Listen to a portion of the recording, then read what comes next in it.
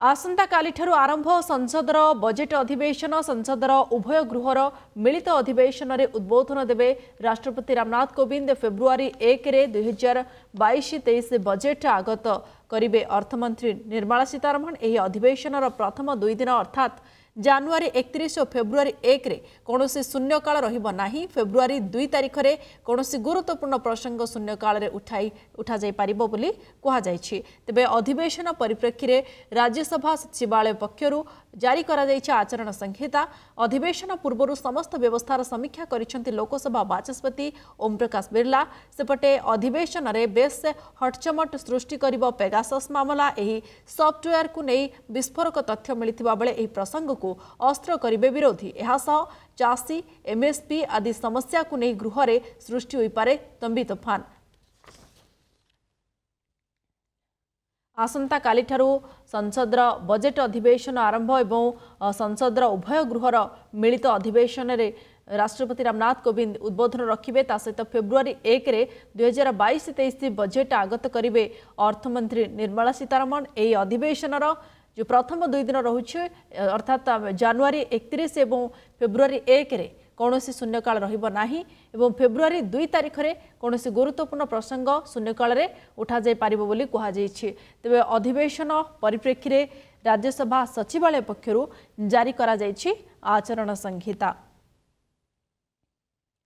ଏବଂ ଅଧିବେଶନ ପୂର୍ବରୁ ସମସ୍ତ ବ୍ୟବସ୍ଥାର ସମୀକ୍ଷା କରାଯାଇଛି। ସମୀକ୍ଷା କରିଛନ୍ତି ଲୋକସଭା ବାଚସ୍ପତି ଓମ୍ ପ୍ରକାଶ ବିର୍ଲା।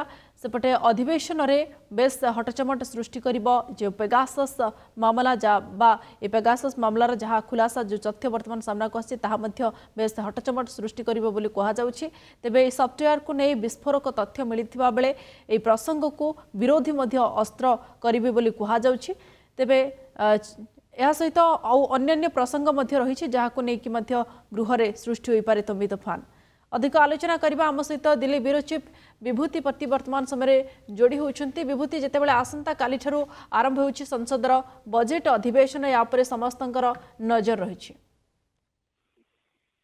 ନିଶ୍ଚିତ ଭାବରେ ଦେଖନ୍ତୁ ବଜେଟ୍ ଅଧିବେଶନ ଯେତେବେଳେ ଚଳିତ ଥର ଆଶା କରାଯାଉଛି ଏଇ ଯୋଉ ଦୁଇ ବର୍ଷ ଧରି ଯେଉଁ ମହାମାରୀର ଆତଙ୍କ ଚାଲିଛି ଏବଂ ସ୍ଥିତି ଯେଭଳି ଭାବରେ ଗତ ବର୍ଷଠୁ ମହାମାରୀ ଦେବାଯାଉଛି ବେକାରୀ ସମସ୍ୟା ବଢିଛି ତା ଉପରେ ସମସ୍ତଙ୍କର ନଜର ରହିଛି ଏବଂ ଦରଦାମ ବୃଦ୍ଧି। ତାକୁ କିଭଳି ନିୟନ୍ତ୍ରଣ କରାଯିବ ତାହା ତା ଉପରେ ମଧ୍ୟ ସର୍ବସାଧାରଣଙ୍କର ନଜର ରହିଛି ତେଣୁ ବଜେଟଟି ନିଶ୍ଚିତ ଚର୍ଚ୍ଚିତ ହେବ।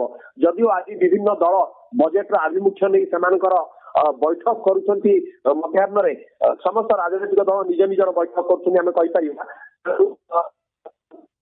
ଚିତ୍ର ଆସିବ ଯେ ବଜେଟ ନେଇ କାହାର କଣ ପ୍ରତିକ୍ରିୟା ରହିଛି ଏବଂ କେଉଁଭଳି ହେବା ଦରକାର ବଜେଟ ଅନ୍ୟ ପଟରେ ଯଦି ଆମେ ଦେଖିବା ଆସନ୍ତାକାଲି ସନ୍ଧ୍ୟାରେ ଭେଙ୍କୟା ନାଇଡୁ ରାଜ୍ୟସଭା ଅଧ୍ୟକ୍ଷ ସେ ମଧ୍ୟ ସର୍ବଦଳୀୟ ବୈଠକ ଭର୍ଚୁଆଲରେ ଡାକିଛନ୍ତି କାରଣ ହାଇଦ୍ରାବାଦରେ ଭେଙ୍କୟା ନାଇଡୁ କୋଭିଡ ପାଇଁ କୋଭିଡ କଟକଣା ଭିତରେ କ୍ୱାରେଣ୍ଟାଇନରେ ରହିଥିଲେ ତାଙ୍କ ନିଜ ଘରେ ଏବଂ କାଲି ଇଭିନିଂରେ ଚିରାଚରିତ ବା ପାରମ୍ପରିକ ପ୍ରଥା ଅନୁଯାୟୀ ବଜେଟ ଅଧିବେଶନ ପୂର୍ବରୁ ରାଜ୍ୟସଭା ଅଧ୍ୟକ୍ଷ ଗୋଟିଏ ଭର୍ଚୁଆଲ ମିଟିଂ ଡାକିଛନ୍ତି ରାଜ୍ୟସଭାର ସମସ୍ତ ରାଜନୈତିକ ଦଳମାନଙ୍କର ସାଂସଦ ମାନଙ୍କୁ ନେଇ। ତେଣୁ ଯାହା ଆଶା କରାଯାଉଛି କାଲି ମଧ୍ୟ ସେଇ ପ୍ରସଙ୍ଗଟି ଉଠିବ ଯେଉଁ ପ୍ରସଙ୍ଗଟି ଗତ ଶୀତ ଅଧିବେଶନରେ ରାଜ୍ୟସଭାକୁ ବେଶ ସରଗରମ କରିଥିଲା ସେ ଯୋଉ ବିଧାୟକ ସାଂସଦ ମାନେ ରହିଛନ୍ତି ସେ ସାଂସଦ ମାନଙ୍କର ଯୋଉ ନିଲମ୍ବନ ଆଦେଶ କାରଣ ନିଲମ୍ବନ ଆଦେଶଟି ବର୍ତ୍ତମାନ ଗୋଟିଏ ବଡ ଚର୍ଚ୍ଚିତ ପ୍ରସଙ୍ଗ ରହିବ ଯଦି ଆମେ ଦେଖିବା ମହାରାଷ୍ଟ୍ରର ଯେଉଁ ବାର ବିଧାୟକଙ୍କୁ ନିଲମ୍ବନ କରାଯାଇଥିଲା ସେମାନେ ବିଜେପି ବିଧାୟକଙ୍କୁ ନିଲମ୍ବନ କରାଯାଇଥିଲା। ସେମାନେ ସୁପ୍ରିମକୋର୍ଟରେ ବିଜୟୀ ହୋଇଛନ୍ତି। ତେଣୁ ଏଭଳି ପରିପ୍ରେକ୍ଷୀରେ ଏଇ ଯୋଉ ସାଂସଦ ମାନେ ଅଛନ୍ତି ରାଜ୍ୟସଭାର ସାଂସଦ ମାନେ ଅଛନ୍ତି ସେମାନଙ୍କୁ କେଉଁ ଗଣତାନ୍ତ୍ରିକ ଅଧିକାରରେ ବର୍ତ୍ତମାନ ନିଲମ୍ବନ କରାଯାଇଥିଲା ଶୀତ ଅଧିବେଶନରେ ତାହା ମଧ୍ୟ ଗୋଟିଏ ଚର୍ଚ୍ଚାର ପରିସ୍ଥିତି ଆସିକିରି ବାଦ ବିବାଦ ଏବଂ ବିତର୍କର ବଳ ଭିତରେ ରାଜ୍ୟସଭାକୁ ସରଗରମ କରିବ। ଯାହା ହେଉ ବର୍ତ୍ତମାନ କାଲିର ଯୋଉ ସର୍ବଦଳୀୟ ବୈଠକ ରାଜ୍ୟସଭା ର ସାଂସଦ ମାନଙ୍କର ଭର୍ଚୁଆଲ ରେ ଚେୟାରମ୍ୟାନ ଭେଙ୍କୟା ନାଇଡୁଙ୍କ ଅଧ୍ୟକ୍ଷତାରେ ଅନୁଷ୍ଠିତ ହେବ ତାହା ଗୋଟିଏ ସ୍ପଷ୍ଟ ରୂପଚିତ୍ର ଦେବ ଯେ ରାଜ୍ୟସଭାରେ ବଜେଟକୁ ନେଇ ମଧ୍ୟ କଣ ପ୍ରତିକ୍ରିୟା ବିଭିନ୍ନ ରାଜନୈତିକ ଦଳ ରହିବ। ନିଶ୍ଚିତ ଭାବରେ ଏବଂ ଯେତେବେଳେ ଆସନ୍ତାକାଲିଠୁ ସଂସଦର ବଜେଟ୍ ଅଧିବେଶନ ଆରମ୍ଭ ହେଉଛି ଏବଂ ଫେବୃଆରୀ ପହିଲାରେ ମଧ୍ୟ ବଜେଟ୍ ଆଗତ କରିବେ ଅର୍ଥମନ୍ତ୍ରୀ କିନ୍ତୁ ପୁରା ନଜର ରହିବ ଯେ କିଭଳି ଭାବରେ ଏହାର ରୂପରେଖ କ'ଣ ରହୁଛି ବା କ'ଣ ପ୍ରସଙ୍ଗ ବର୍ତ୍ତମାନ ସମୟରେ ରହୁଛି ତା ଉପରେ ମଧ୍ୟ ନଜର ରହିବ। ବହୁତ ବହୁତ ଧନ୍ୟବାଦ ବିଭୂତି ପତି ଆମ ସହିତ ଯୋଡ଼ି ହୋଇଥିଲେ।